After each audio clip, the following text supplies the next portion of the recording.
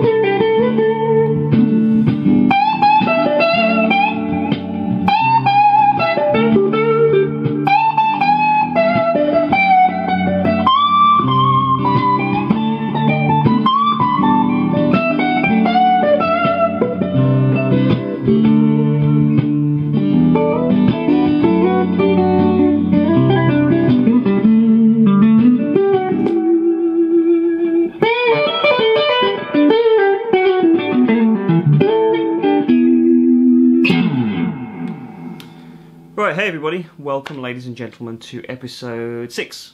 Welcome. Thank you for joining me on another one of these. Uh, first of all, as always, thank you everyone for the support on the previous episodes. I really appreciate it. It doesn't seem to be stopping. You guys are with me all the way. So uh, I really appreciate it. I just want to say thanks, first of all, before I get into the episode today. I want to start today with that little jam, if you like. Um, I've had this song in my head for a couple of days now. That was a little take on an Alexander O'Neal track. He was a great, great soul singer in the 80s. Um, very underrated, I think. If you want to talk about underrated singers, I think he's up there. Um, there's a track called If You Were Here Tonight. And it's just this really hypnotic little groove. A lot of bands of the 80s did this as well, very effectively. Obviously, not necessarily with guitar, but um, I just absolutely adore that little sequence. It's, but it's really basic. It's like an E to an F sharp over a D C to a D.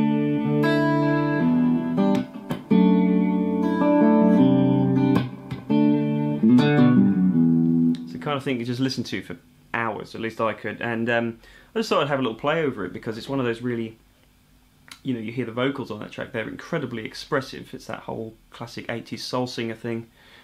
And I thought, why not apply that to guitar? And it got me thinking about the dynamics of guitar playing and um, you know why some of my favourite players play the way they do is is largely to do with dynamics. I've touched on this before in previous videos, but it's really exaggerated with a little loop like that. Especially when you are looping, because you've got that solid backing underneath you, you're free to just express lead lines and little single note runs in any way you please. So.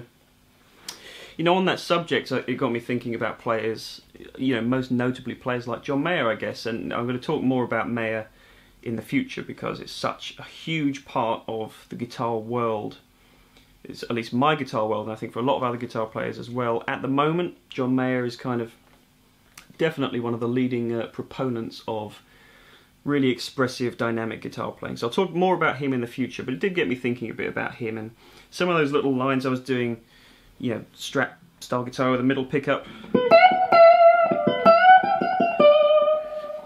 It's a very, it's a very vocal-like little vibrato that, that Mayer has, and he, I guess he's got it from players like Clapton as well. You know, you kind of get more guitar-focused vibrato, which would be stuff like.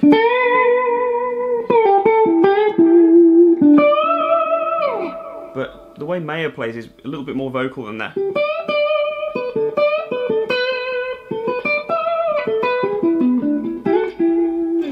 It's the little slurry on those.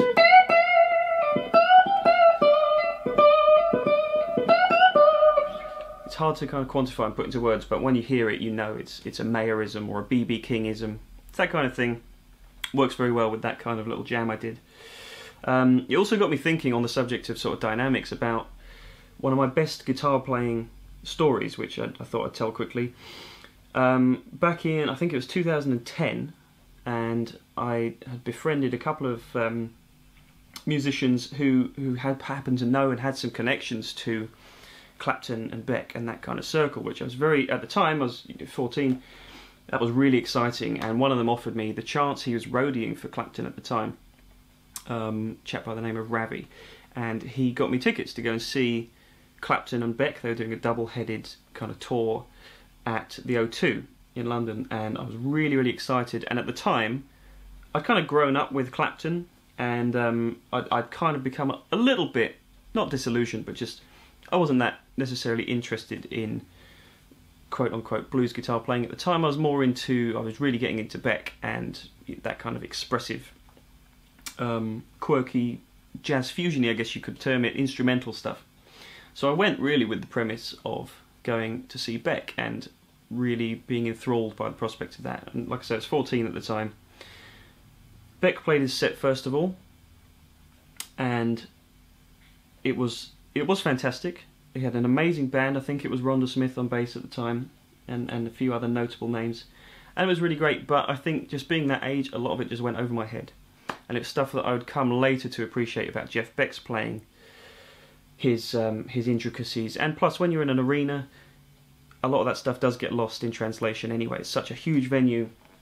The nuances of what Jeff does, maybe they just weren't quite translating to me anyway. So I had a great time with that, and I, then I thought, okay, here comes here comes Clapton's set, and it was the time when uh, he'd grown his hair long again, and I think the out the eponymous album Clapton had just come out, and it was all kind of really rootsy, 30s and 40s style not even blues. It was really sort of, um, I guess, just old, folky kind of songs. I don't know how to describe that album. Really. It's a great album, but at the time it was kind of like, okay, now it's time for Clapton's set, and then it's time to go home. And anyway, I got through, um, and I remember there was one track that Clapton played. He just did a, a rendition of "I Shot the Sheriff." So you know, most guitar players know that, tr- that track. Most musicians have played that track, I'm sure, in cover bands and stuff. I thought, okay, here we go. And um, the way he played it, and he did this huge breakdown solo in the middle, which I'd never heard before. And you know, anyone who knows that track will know it's a very, very simple reggae-ish kind of.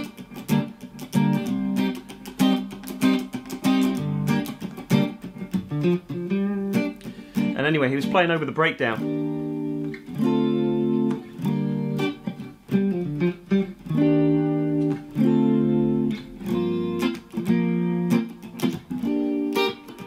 And he took it right down to this kind of a level and then there would just be these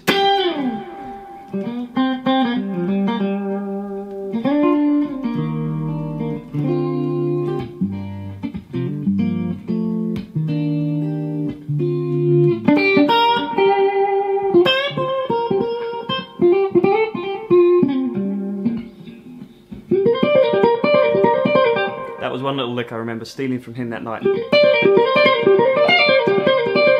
those little flurries.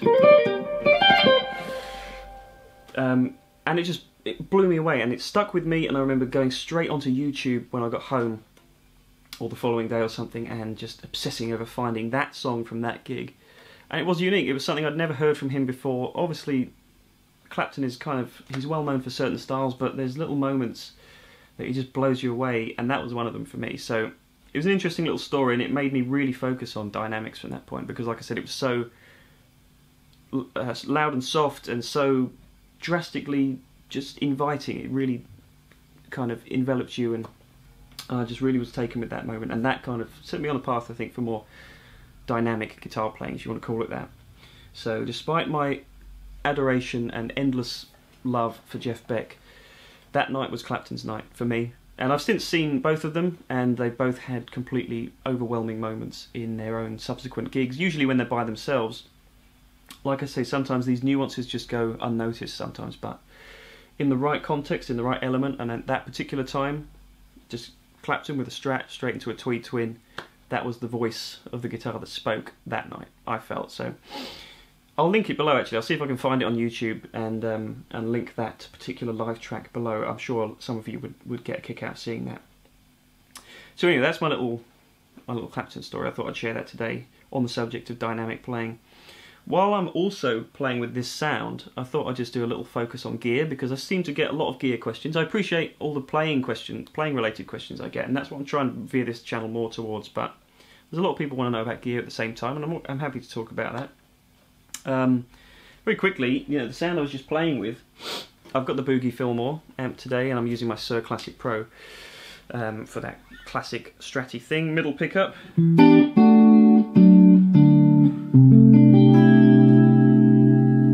And as you'll probably have been able to tell from the intro and my reference to Alexander O'Neal, I'm a huge fan for those, a fan of those like real. I don't know whether you'd call them cheesy or what, but just those, those great 80s sounds um, you know, smothered in chorus and stuff like that. And as long as it's done tastefully, I think there's good cause to use it, particularly if you're going for those airy kind of atmospheric sounds. And um, something I, I do use chorus quite a lot. It's one of my favourite modulation effects. It's pretty much one of the only ones I use regularly. Chorus and, and phase shifting. The chorus on my board, I haven't talked about it before really, but it's an Analog Man bi-chorus, and it took me a long while to find one. Um, and when I did, I was just like, okay, that's the perfect chorus for me. I, I love it so much. You can use chorus in a number of different ways, and when it's a really nice analog unit like this, it's amazing what it does to the sound. It's not just an effect, it becomes an integral part of the tone, and I think that's what a lot of players recognise if they use those old 70s and 80s analog choruses. Let me give you an example. You know, I had the um, clean sound of the amp. I do have some delay from the timeline. So here's just the dry sound. You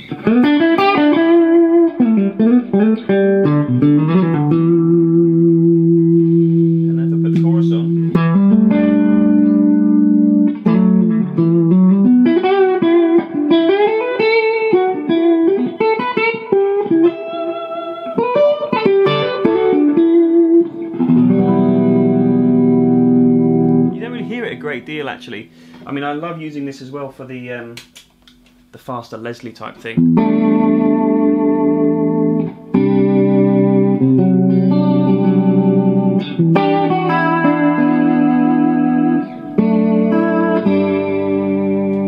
But just in that default slower mode, it sounds it sounds great. And generally, my go-to if ever I'm playing those kind of real expressive, fairly dynamic single note stuff, I like to have a little bit of chorus in there because it really fattens up those single notes, and that can be hard to achieve sometimes if you're playing with your fingertips. You're playing very soft. It,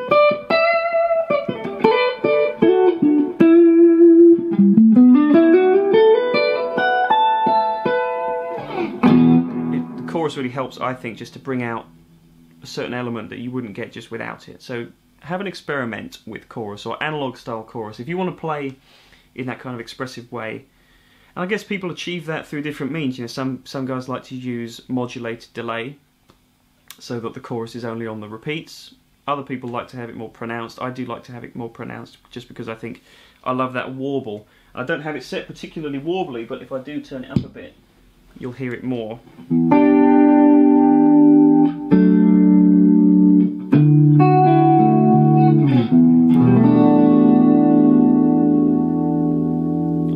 Love that sound. So guys, play with some chorus if you can, uh, if you feel so inclined, because I think it really does add a level of emotion to your playing, if that's what you're going for. So that's a bit of cool gear for today. I will talk more about gear in the future, but chorus, use it or lose it because it's it's never going to go away, but it has been neglected more recently in, in the guitar world, so bring it back. Um, last thing I want to do today is just address one of the questions I got from Andrew Reynolds. He asked, what volume do you have in the room when playing alone? And can you get a good sound from your amps at low volume? Um, typically, I always try and play as loud as I can if I'm at home. It depends on how many people are in the house. Today I'm not playing really loud. If I play full tilt, and obviously I've been playing very softly, so if I was just to play the boogie full tilt,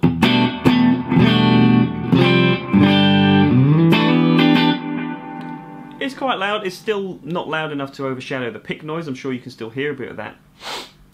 But it depends on what you want to play. If you're just playing balls out rocky stuff, as it were, and you really want to lay into the guitar, then you kind of have to be a bit more respectful of noise. You have to attenuate if you've got a loud amp.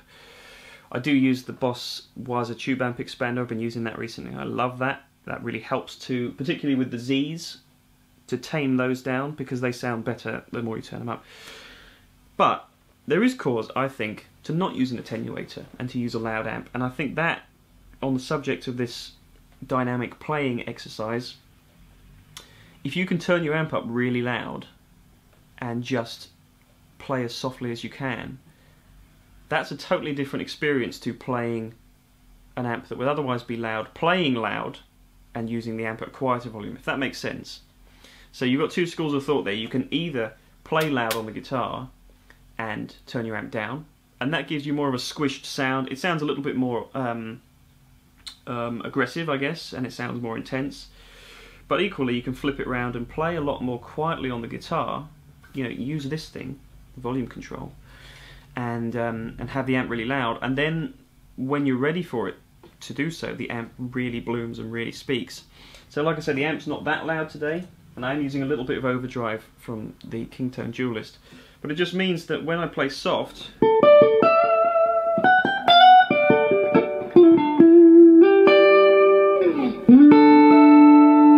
it's not it's not compressing as if as if the amp was loud and I turned it down with an attenuator or something.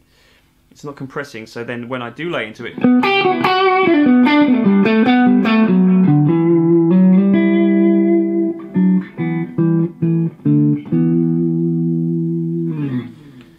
Really, it depends on what sound you're going for, and it depends on what approach you want to take to playing. Just have a play around. If you can, turn your amp up and just play softly.